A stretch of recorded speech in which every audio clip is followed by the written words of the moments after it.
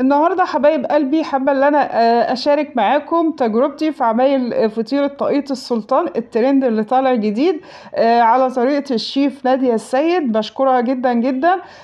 عملت لهم بقى في اليوم دوت صينيتين فطلعوا طعمهم جمال جدا والفطيرة فعلا طعمها لذيذ جدا وحبوها عندي في البيت.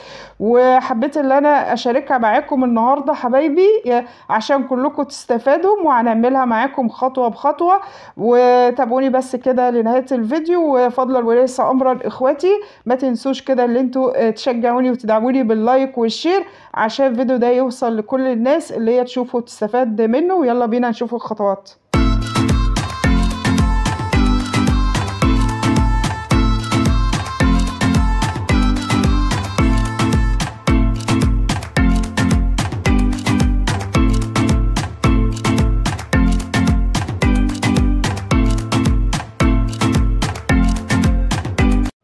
السلام عليكم ورحمة الله وبركاته. أهلا وسهلا بكم أخواتي وحبايبي في الله في قناتي على اليوتيوب أسرار الطبخ الاحترافي مع الشيف حنان الورائي تعالوا بينا حبايبي نبدأ الفيديو الأول بالصلاة على رسول الله عليه أفضل الصلاة والسلام ونشوف أول حاجة عملت إيه. آه، أول حاجة أنا جبت البيضة وفصلتها وخدت الصفار حطيت عليه معلقتين كبار من المية معلقة معلقة صغيرة من الخل وربع معلقة فانيليا. والبياض البيض حطيته في الكوباية. ودلوقتي جبت العلبة وبحط بقى إيه كوباية مية وربع كوباية زيت وخمس معالق كبار سكر يعني نص كوباية. و- وبحط بقى إيه المكونات آه، وهنحط دلوقتي معلقتين صغيرين من الخميرة الفورية.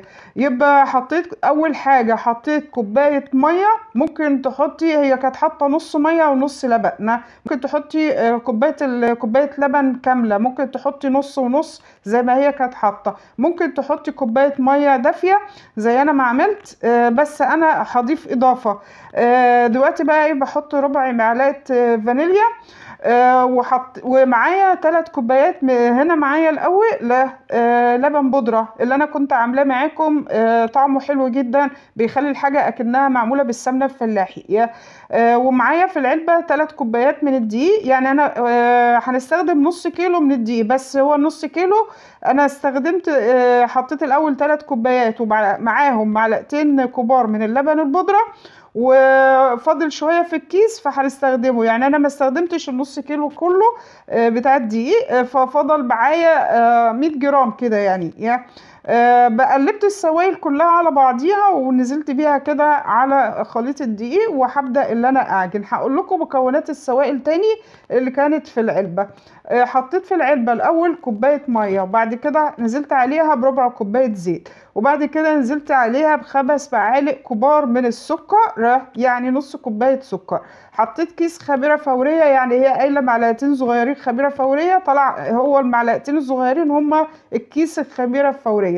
وحطيت بياض البيض وحطيت آه، ربع معلقة كده من الفانيليا وبدأت اللي أنا. آه، قلبت كله مع بعضه السوائل مع بعضيها ونزلت بيها على الدقيق وبعد كده بدأت.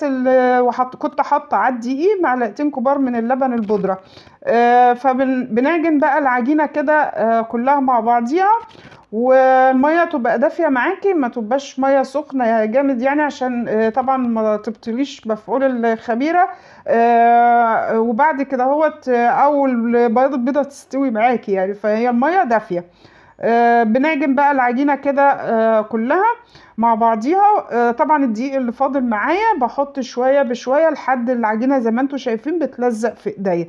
فأنا مش عايزاها اللي هي إيه تلزق عايزة العجينة تلم إيه آه، تلم نفسها كده وهنشوف القوام إيه بتاعها. فأنا بنضيف الدقيق واحدة واحدة كده لأن أنا ما استخدمتش النص كيلو كله حط آه، خليت شوية على جنب آه، عشان لو احتجت آه، مع العجن يعني اللي أنا أستخدم شوية من الدقيق فأخد فزي ما أنتوا شايفين. ده آه، طبعا العجينة هنحتاج لمعلقتين كبار من الزبدة آه، ممكن تستخدمي زبدة ممكن تستخدمي بقى سمنة آه، ممكن تستخدمي زيت آه، بس أنا ما كانش عندي زبدة فأنا استخدمت زيت. آه، فزي ما زي ما إحنا شايفين آه، طبعا إحنا كنا حاطين في العجينة من جوه آه، ربع كوباية زيت. في معلقتين تانيين هنضيفهم ما وهنقول لكم إيه هنقول لكم عليهم هنضيفهم إمتى. آه، طبعا العجينة لسه بتلزق معايا زي ما أنتوا شايفين أنا ماشية معاكم واحدة بواحدة آه، واحدة واحدة يعني آه، زي ما أنتوا شايفين. بنحط الدقيق واحدة واحدة هي كده عجنت العجينة وكده لمت معايا مش بتلزق في إيديا وعجنتها كويس على الرخامة. يعني عشر دقايق كده عمالة بعجن فيها آه لحد ما وصلت معايا القوام اللي أنتوا إيه شايفينه. فضل معايا الدقيق دي اللي فاضل دهوت 100 جرام. ما يعني هي كده العجينة خدت معايا 400 جرام من الدقيق. بقسمها نصين كده حطيت نص في العلبة. وبعد كده آه، المفروض انت بتغطيها بقى بكيس. وهنضيف بقى إيه اضافة. المفروض ان انت قبل ما تغطيها فبتحط لها معلقة زبدة. أو معلقة زيت. أنا هنا جبت العلبة آه، نص العجينة اللي فاضلة معايا آه، جبت العلبة حطيت فيها معلقة كاكاو آه، كبيرة. على فكرة هي العجينة خدت معايا معلقتين كبار من الكاكاو. فأنت عشان ما تيجي تعمليها وتلوني العجينة فحطي معلقتين كاكاو اللي هو الخام الغير محلى. بتحطيهم وبتحطي عليهم معلقة زيت مع الكاكاو أو معلقتين. أنا حطيت معلقتين استخدمت معلقتين حطيت معلقة دلوقتي ورجعت زودت تاني. هنا بقى إيه حطيت معلقة زيت على العجينة اللي هي البيضة. آه، في الخطوة دي آه، هي كانت حاطة معلقة زبدة.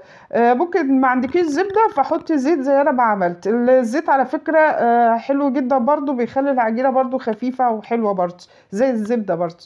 آه، يعني السمنة السمنة ممكن هتخلي العجينة تبقى تقيلة معاكي جامد يعني فبلاش سمنه يا زبدة يا زيت. آه، فنقعد بقى إيه يا حبايبي آه، طبعا نقعد في الخطوة ديت.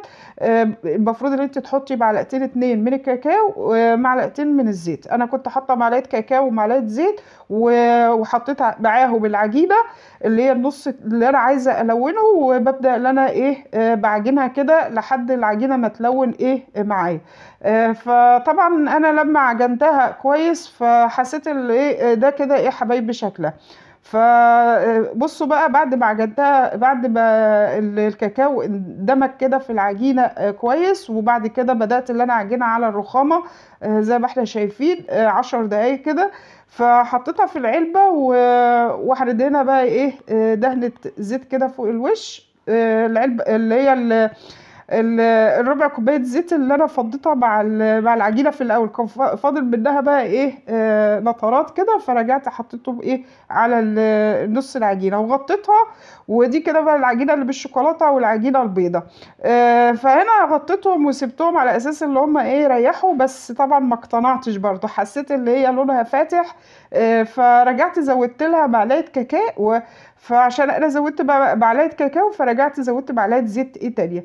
فعشان كده بقول لك في الأول حطي معلقتين ده معلقتين من الكاكاو آه، بت... بعد كده بتبدأي بقى إيه اللي تعجنيها عجنتها تاني بنفس الخطوات ورجعت برضو غطيتها آه، ف وبعد كده آه، هسيبها بقى إيه لحد العجينة إيه ما تتخمر بنفس الخطوات اللي أنتوا شايفينها أنا خدت العنب دي وحطيتها في فرن البوتاجاز آه، وسبتها.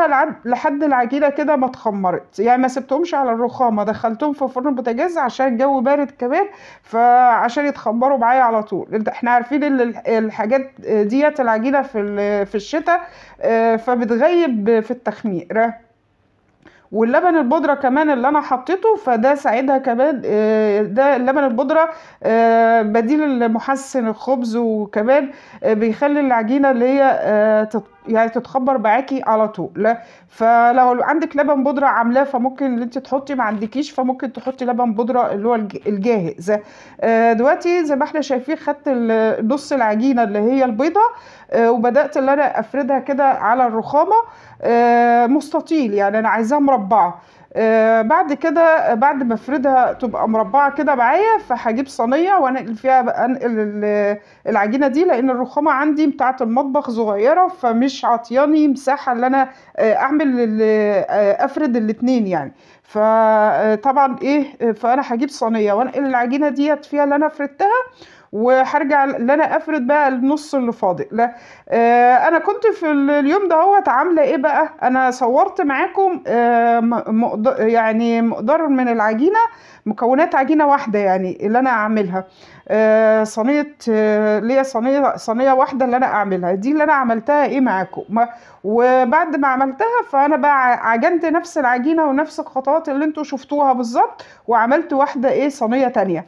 آه، فيعني كنت عاملة لهم في اليوم دول آه، في اليوم ده آه، كنت عاملة لهم صينيتين.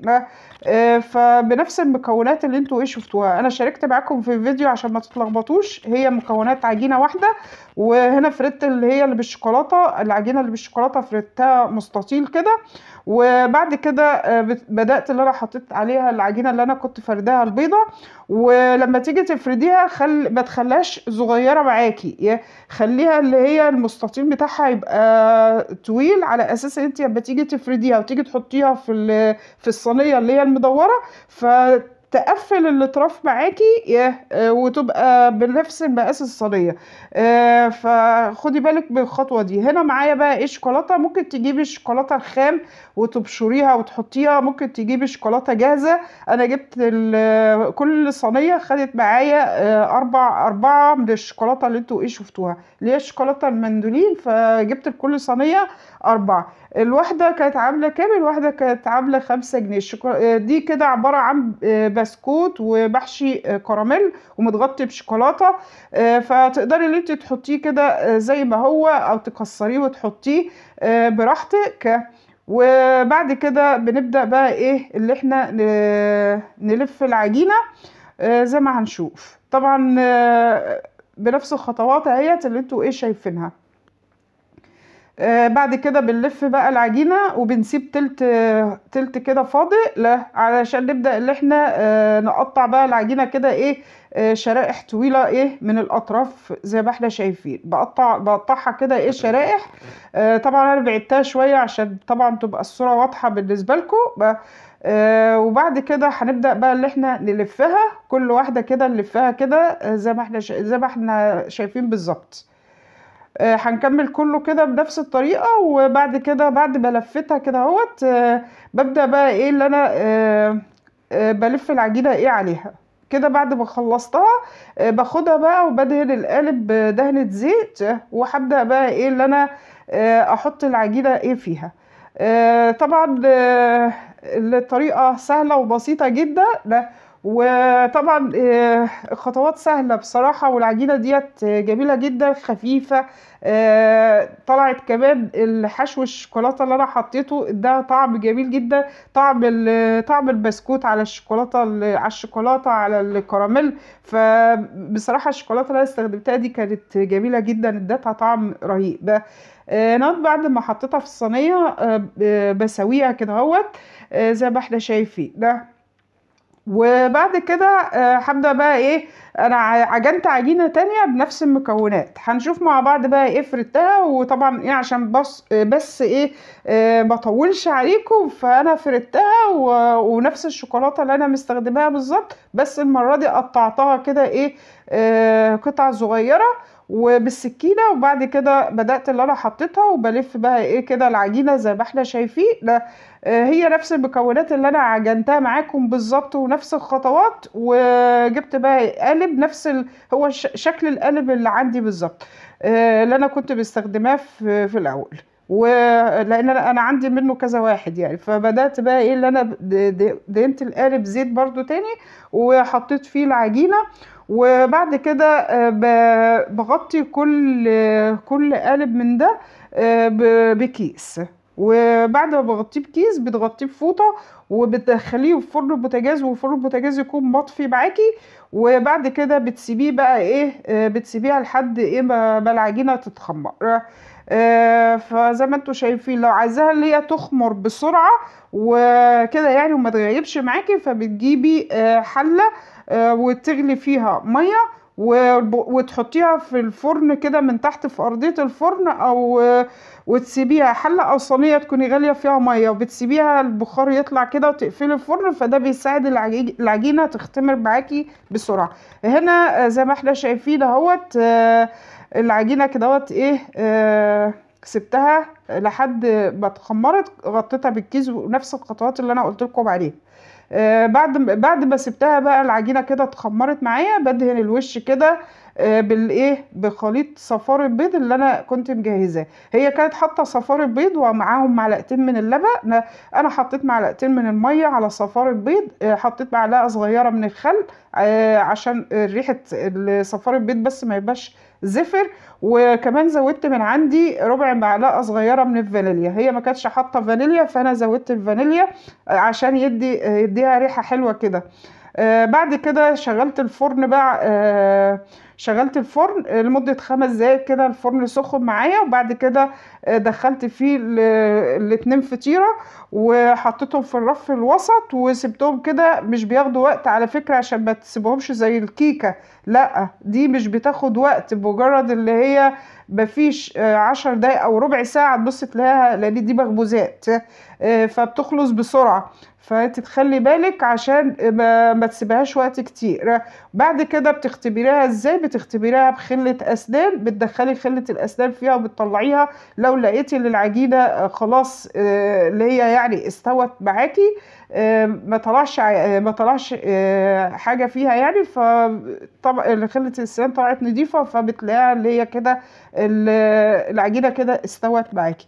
بتعملي إيه؟ بتطلعي الصواني من الفرن آه بعد كده بتغطيها بفوطة وبغطا حلة وبتسيبيها بس تهدى شوية آه وبعد كده وهي لما تبقى دافية بقى غطيها بكيس وهي آه وهي العجينة الفطيرة لسه فيها بعد ما اتخبزت غطيها بكيس وسيبيها كده بقى إيه لمدة ربع ساعة عشان تطلع معاكي بسرعة.